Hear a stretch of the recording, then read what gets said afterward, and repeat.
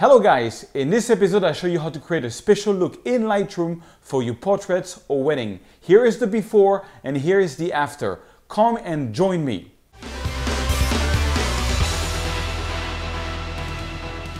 Bonjour! My name is Serge Ramelli, I'm a French photographer living in Paris, France and welcome to episode 45 of my photography Lightroom and Photoshop tips. Last week episode I showed you how to add drama to a photo. I went a bit overboard, but I kind of like the result. This is the before and this is the after. Check out this episode if you like this type of technique. This week, I want to answer some mails I got from people doing wedding shoots or portrait. They want to know if it's possible to create nice vintage type of effect in Lightroom and in Lightroom only. And that's exactly what I'm going to show you. Not only I'm going to show you how to create a vintage effect, but I'm going to show you how to create a preset so you can use it over and over and check out if it works on a photo. And we're going to create three presets, a warm one, a cold one, and a mix of warm and cold. So let me show you how this is done. All right, guys. So um, today's we're gonna do a tutorial on giving a vintage look to your photo and also on how to uh, use that as a preset. The whole idea is that uh, when you do weddings photos or when you do portraits, one thing that I've seen that a lot of people seems to like is a vintage look and or you know very specific uh, special effect type of look. And one of the key thing about that is color cast. A color cast is uh, is having a color which is going to be dominant in the, in the photo. It's going to be like a, a, a main color, either warm or you know or cold. And you know, like Instagram type of photos are very warm or very cold and very contrasty. And anyways, special effect and special type of looks uh, are pretty successful these days. And I want to show you how you can achieve at least one type of look uh, in Lightroom in a very easy way and use that as a preset to try it out with some of your portrait photos. So let's start with this basic photo, couple kissing on the beach. Uh, and I'm just going to open up the shadows a little bit and turn down the highlights. I don't do it as much as I usually do because I want to make a preset. I want to this to be an, an average that I want to be able to check and use on other photos. Uh, then I'm going to add some clarity. So far, so good. So far, so good. And um, one thing I'm going to do, and that's the whole trick about this. The whole trick about this is, is um, here split toning. What is split toning? Split toning is basically you've got two settings, highlights and shadows. The whole idea is that you're going to put a color into the highlights and you're going to put a color into the shadows. Now, how do you put a color?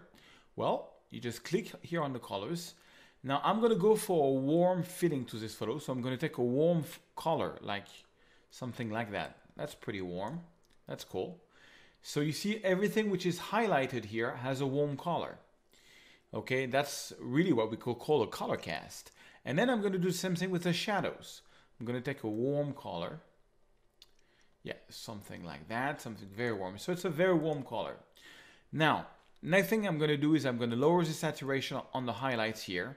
See, more you get into the saturation, more the highlights, the color cast is vivid for the highlights. We don't want that we want a color cast. We don't want the photo to be sepia or yellow.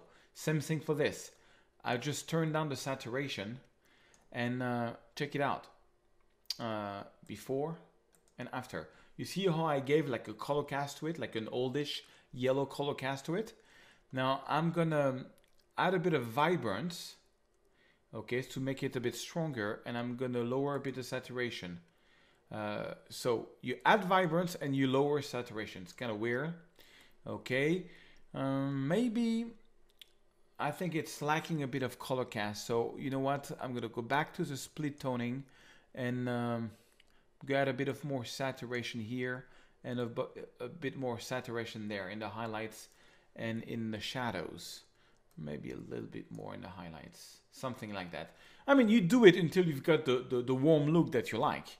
Now, if you want to give like a uh, vintage feeling to your photo, two things you can do. You can, uh, you, I don't like it so much, but I know it's been popular, is grain. You can add grain. You can add like 25 of grain. I don't know if you can see it in the video, but it's all grainy, like the old film, you know. You can put as much grain as you want, very strong or not very strong. And then also post-crop vignetting. Adding a post-crop vignetting is really part of the show. And in no time, you've got a look, you know. This is where we came from. If I do the backslash key, and this is where we are, you know, an old vintage look. Um, so uh, I think I'm a bit undersaturated. I think I'm gonna get some saturation back. I want a warm feeling to this. Maybe add a bit more. I mean, you just do it to your taste, but when I tested it earlier, I think I added a bit more saturation, yeah, in the in the here in the shadows and in the highlights. So okay, so we've got one look. Now that's just a look, you know. It's uh, and it's very easy if you've created it. You know how to make it stronger or make it, you know, because you know exactly what settings you've used. So then what I'm going to do is I'm going to save this as a preset. So I'm going to go here and I'm going to call this warm uh, look. Okay, and I'm going to put this in the folder. I created a folder called Photo Serge All my presets uh, for this series is going to go in Photo Serge. Okay, now auto settings, I do not select auto tone because I prefer the way I have done my highlights and shadows where I was a bit mid-range, you know. So I'm to create the look, okay? And uh, now I'm to do a cold look. So I'm to keep everything that I've done so far, but now I'm to change my split toning. So I'm to go into the highlights and make this uh, very warm and go into the shadows and make this very cold. Actually, you know what? I'm to make a mixed of both. I'm to make the highlights warm and um, actually the opposite. I'm to make the highlights warm and I'm to make the shadows cold. Okay, it's a mix of both. That's also one look that you have.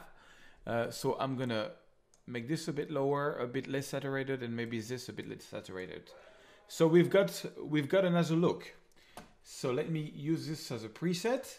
So this time I'm still in Photo Serge. I'm going to call this mixed, warm, and cold. That's the name of my preset and create. And then I'm going to create one more. I'm going to create one more, which is going to be a pure cold. All I'm going to do is change the highlights and make them warm. Okay. And turn down the saturation. So now I've got a pure cold look. So I've got warm, I've got cold, and I've got mixed. So I'm going to go into the preset and I'm going to call this cold look. Okay. So we've got three looks. Now, if I go in my Photo Serge, which is here, I can just click warm look. I can just get cold look and mixed warm and cold. And I can decide which one I like the most. And I can take another photo here, for example, which is an, another portrait, which has not been retouched at all. And I can go cold look. I can go mixed up warm and cold. And I can go warm look alone. And on this one, for example, I like the warm look. So that's just a starting point. Then of course I would go, you know, here there's a flash, so I would, you know, take the crop tool, get the flash out of the way, uh, maybe, you know, take a brush, uh, boost the exposure, you know, and just add a bit more exposure on their face or something, you know, and uh, and voila. And in one second, I, you know, retouch and gave a very strong look to a portrait or a photo. Check the before any after in one second. See how, uh, and uh, so I think that's a very powerful trick, guys, because you can really, you know, in no time, uh, check, uh, you know, how the looks are doing and what's going to work and what's not going to work. And presets are amazing. I'm actually to make a whole bunch of presets that I'm to sell on my website in the next week. So you can buy these ones. There will be even some secrets to them. There'll be a bit more, not exactly like that, but I just wanted to give the basics of the uh, of the thing because I get lots of emails from people doing wedding shots or portrait, and they want to give a, a special look in Lightroom. And well, the trick of special look is a split toning here. That's the secret. Okay.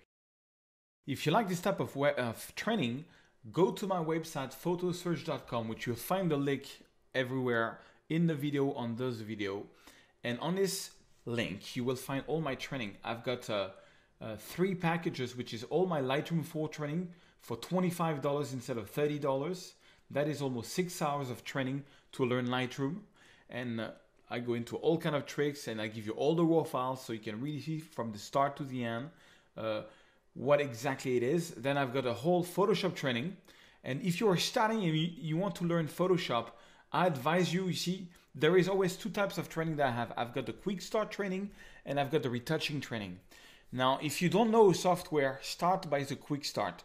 The quick start, whether it is Photoshop or Lightroom, is going to give you the basic of the software, a sort of very, you know, couple of hours overview. Uh, I try to explain things in the most simple way possible.